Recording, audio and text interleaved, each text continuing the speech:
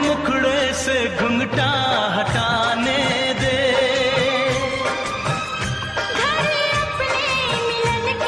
तो दे। मेरे दिल पे नहीं मेरा काबू